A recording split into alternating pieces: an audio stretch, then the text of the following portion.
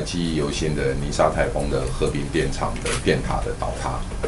到这一次的大大潭电厂的断气，其实已经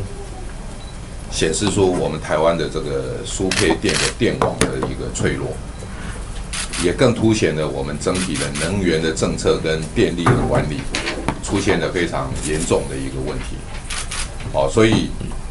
一个两分钟的意外。就可以造成我们全台一片的凄烈跟恐慌，全民的恐慌，包括多少的厂商，多少的店家，多少的一般的我们的平民百姓，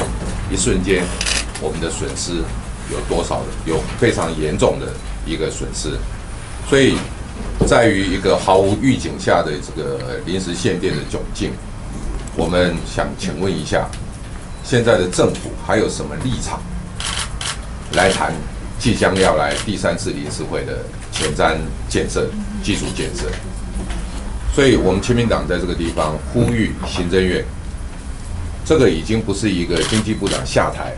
就能够解决的问题。一个结果只是一个经济部长去请辞获准，那我觉得这样的执政政府太过于便宜行事。那当然，虽然民众已经对于一个电塔倒了，只要公家机关关冷气的中二内阁失去了信心，也没有期待。但是行政院不要以为经济部长请辞就可以弃居保帅哦。现在的内阁他的无能已经没有，已经没有办法去应变天灾之外，